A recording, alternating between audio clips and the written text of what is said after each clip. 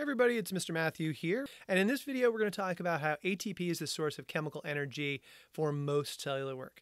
Uh, in this case, we're going to start by talking about the structure of ATP. What is that? I'm going to give an example of how uh, ATP is used to do some work, and then I'll review the ATP-ADP cycle and talk about um, how we break ATP down and how we recharge it from ADP in order to have more available uh, stored energy. So here we go.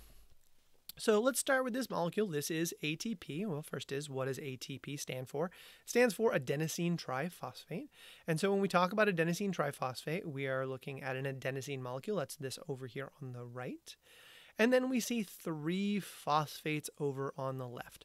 So what does this mean? Well, phosphates are these high energy components and they are very similar chemically. And so when you stack three of them together, there's a lot of potential energy in this molecule. And one analogy I like to use when I think about what is ATP is I like to think about the difference between a paycheck and cash. So let's say you go out and you have a job and you get a paycheck, and then you take that paycheck and you want to go to Dunkin' Donuts and buy yourself a hot chocolate, and you walk in with your paycheck and you're waving it around. They'll look at you like you're crazy. Well, that's kind of like what happens when glucose comes into a cell. Glucose is this big potential energy molecule, and obviously we eat sugars in order to have energy, or we eat carbohydrates in order to have energy. We get those carbohydrates broken down into monosaccharides, we bring them into the cell, and then we want to use the energy that's there. We can't use that energy. So what do we do? Our cells break that down we break those sugars down and we make ATP. And ATP is the cash of the cell. It's something that your cells can spend in little tiny increments by just transferring a phosphate over and do lots of little bits of work. Um, and so that's the analogy I like to think about it. ATP is the cash for your cells, spendable, usable energy. Now, here's an example of what we call a sodium potassium pump. So this is a pump that's going to push sodium outside a cell and potassium into a cell.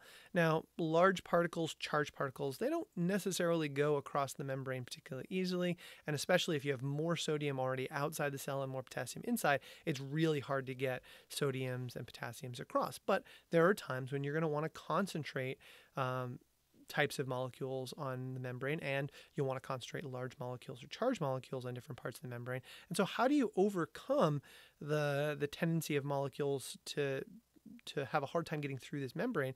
Well, you use a pump. And so, what we'll do here is we'll see that as ATP comes along, it turns into ADP plus P, and that P represents a phosphate that's transferred from the adenosine triphosphate onto this sodium potassium pump. When that phosphate binds to the pump, it's going to cause it to slightly change in shape. And that slight change in shape is going to be enough of a shift in the form of that protein that's going to push sodiums from the inside of the cell to the outside and push potassiums from the outside to the inside. Now, this is a very subtle shift, and I'm only using one ATP to do this, but it's going to allow me to set up and contain uh, molecules in particular locations. All right. So this is one example of how the cell could do work. Really, anytime a cell wants to use energy, let's say we're talking about moving um, a compound from one part of the cell to another, or we're talking about moving things along a given protein or altering sh uh, the shape in a cell, all of these things are going to require a little bit of energy, and each time those molecules are moved, a little bit of ATP is going to be spent and broken down into ATP in order to move those molecules around.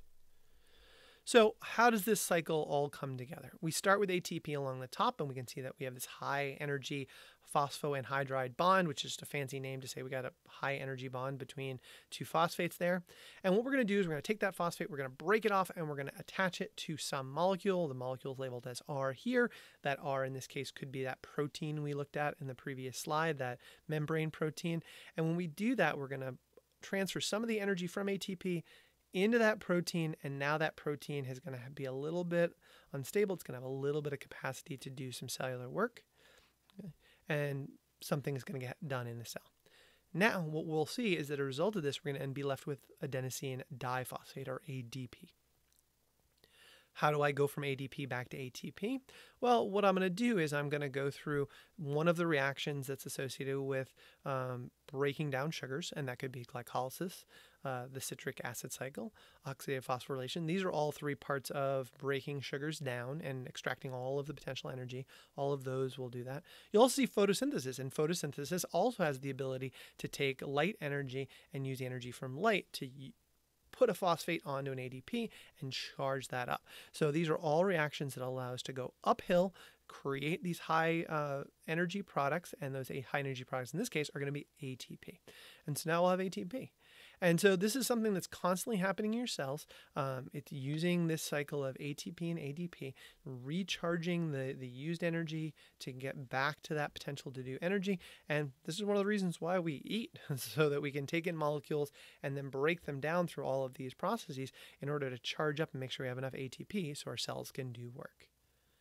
All right, that was a pretty quick review of ATP um, and ADP. We'll come back and talk a lot about this throughout the year, uh, particularly as we get into things like cell respiration, photosynthesis much later in the year. But I hope this is a good start for you and gives you a little bit of picture of this really important biological molecule.